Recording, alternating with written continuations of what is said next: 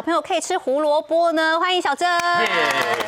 那今天是准备的比较简易版的，比如说尾鱼，这个就是一般的尾鱼罐头，然后这个就是切的很细，用刨的胡萝卜丝以及葱。那我家小孩是很爱吃葱，哦，所以很难得。对啊。有的小朋友讨厌葱。对，然后再更多的葱，你这是葱油饼啊，还是？那感觉像葱油饼啊。没有想说有一些加进去，有一些可以上面你知道摆盘嘛。对啊，然后基本的调味料，这不是一人份吧？不是，就是一个晚餐晚餐可以上菜的一个这样。其实蛋里面还有油脂，油脂可以把那个红萝卜的那个维生素 A 带出来。带出来。蛋里面有油？然后对啊，蛋里面有油脂啊。真的啊？哎我也是今天才蛋白质知道跟油脂啊。我啊？我刚刚都不敢应声呢，蛋里面有油，当然有油啊。有什么油啊？蛋有油它哦。它有正常的油，也有软磷脂的，软磷脂其实也可以溶它。哎，那营养师，请问一下，我们外面买到蛋有一种是像这样黄的，嗯。有一种是橘色的，对啊。它有什么差别吗？饲料哦，有一种。是吃胡萝卜的，对？然后有的是吃枸杞、吃胡萝卜，所以它的那个蛋黄颜色会特别偏红的。然后蛋打完了之后，就把你要的料就丢进来混下去，然后看你要的量啦。嗯，可以加一点调味料啦，但这个尾鱼汁就，它就有那个咸味啦，很香啊。也是适量就好了啦。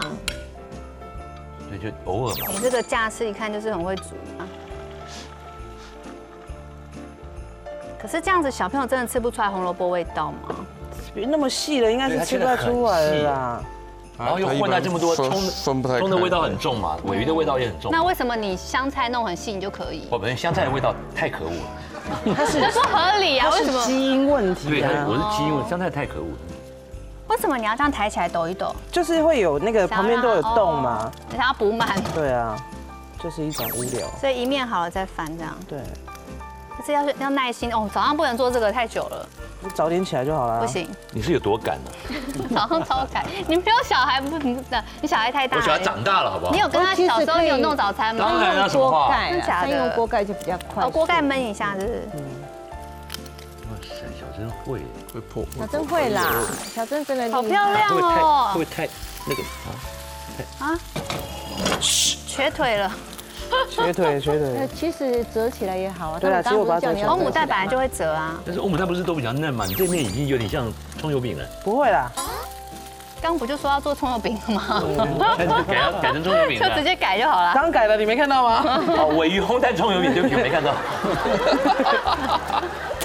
上菜，哇，胡萝卜红蛋葱油饼，半月琴的没看过吗？上菜。哇，试试看，试试看。嗯，很够味，没有加盐，很够味。